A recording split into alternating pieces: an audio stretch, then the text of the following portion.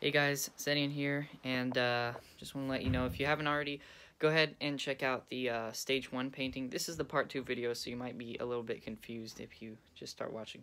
Anyways, uh, today we're going to show the second part where I finished painting um, stage two of Everywhere at the End of Time, and this was really crazy experience because I listened to like I'd already gone through the first three stages while painting stage one, so I was listening to stage two for most of the time that I, uh, sorry, stage four for most of the time I was painting two, which was pretty crazy.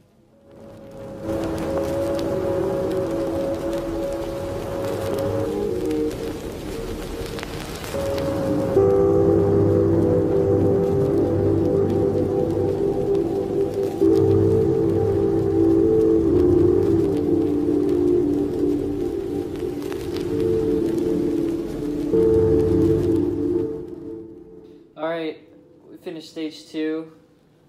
Uh, I'm very proud of this one. The only thing is the flowers are too thick, of course, but that's kind of hard to do with my my uh, paint set.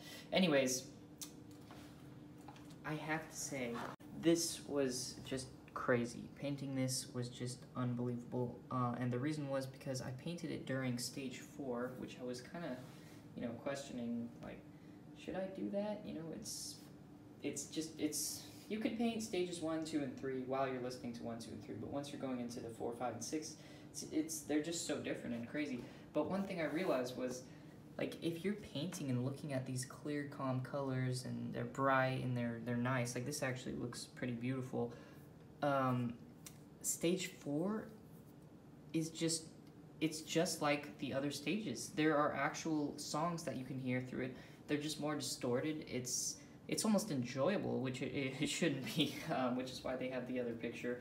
But you know painting this picture while listening to it actually made it enjoyable and i really you know, I really appreciate it now after listening to that, and I think maybe I could actually listen to Stage 4 recreationally. I, I do listen to 1, 2, and 3, but yeah, um, it's crazy, but it actually really made me appreciate Stage 4, and it there were parts of it that were really enjoyable to listen to, and you just have to just clear your mind and just paint something like just the background for this really helped. So if you want to get a lot out of stage four, you should listen to you should listen to it while painting stage two. But you know, if you want it to be crazy and hard to bear through, then go ahead. Anyways, I got I'm I'm on stage five right now. Made it uh, a little bit into stage five, and uh, I need to clean up this. There's just a huge mess right now, and uh, that's it. I'm not gonna do three. What I think I'm gonna do is I'm gonna listen to this whole thing two more times, and what we're gonna do is paint stage three and four while listening to it again, and uh, three will probably be listened to during the first three stages, so that'll be okay. And then I'll paint four during four, so it'll be good. Uh, and then maybe I'll even do it again, and we'll paint five and six, maybe, maybe. Anyways, I will uh, give you a better description once I'm done with all this. Alright, so it's been probably a few weeks. Uh, it took stage two forever to dry just because and if you look at it, there's just so much paint on the uh, on the figure here. If you really look at it, uh, it's technically off-centered, but you know I don't really care about that because again the main thing that we are making these is uh, to use as album covers for the B-side creation. And uh, if you already posted a B-side for stage one, and I'll have some for stage two coming out soon.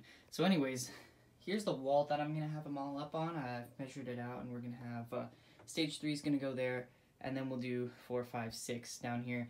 And this is like the main wall of my room, so it's just to be so cool to have that. I mean, we already have uh, Empty Bliss right there, so, you know, we're getting the whole collection together, and I know there are tons of other Leyland Kirby albums with tons of Ivan Seal art on them, uh, but mainly we're to focus on these right now since we're trying to make the, the samples.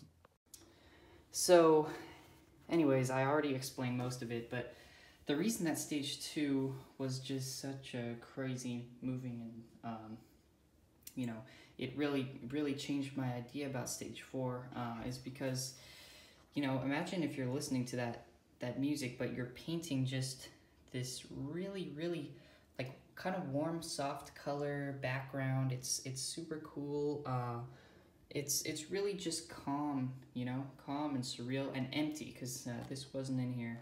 So yeah, I mean, it didn't take too long to do the background background, but it probably for the first half hour, maybe an hour even of uh, stage two, I was just just working on filling in these colors, which it shouldn't need to take that long, but it was just really crazy because I was able to start to pick apart the samples that were being used, and they were really just normal songs, just slightly less distorted than, uh, or slightly more distorted than stage three. Like, really, it stage four, exact same, just getting more distorted, um, and I could recognize even I could even recognize a lot of the tunes we had, plenty of stuff from uh, the earlier stages in just just more distorted. Some even some was even clear, but really just painting such a calm picture like this and, and peaceful and just empty. There's just so much negative space in this um, and bright too. Like the the blue on stage one was really dark and filled, so it,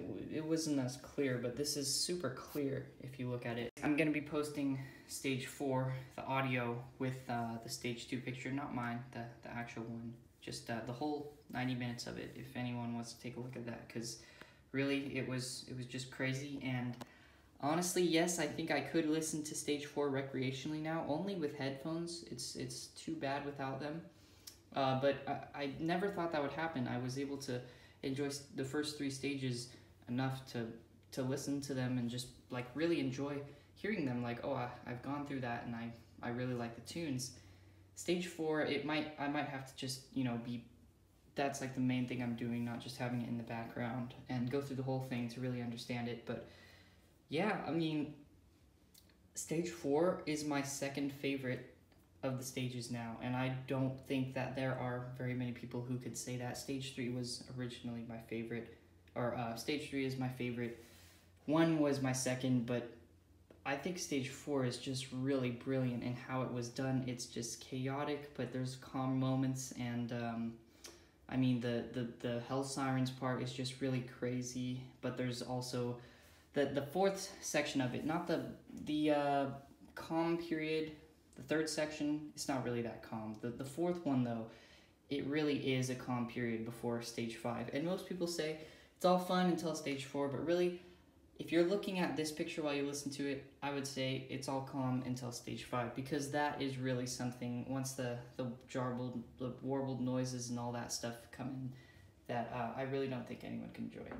Anyways, I'm just talking here, and I could go on a ton about my experience, uh, and I'll probably do a full like each stage review later later in the future. But yeah, I'm gonna start making some more uh, B-sides and uh, we'll get them coming out pretty soon. Thanks for watching and I'll see you in the next one.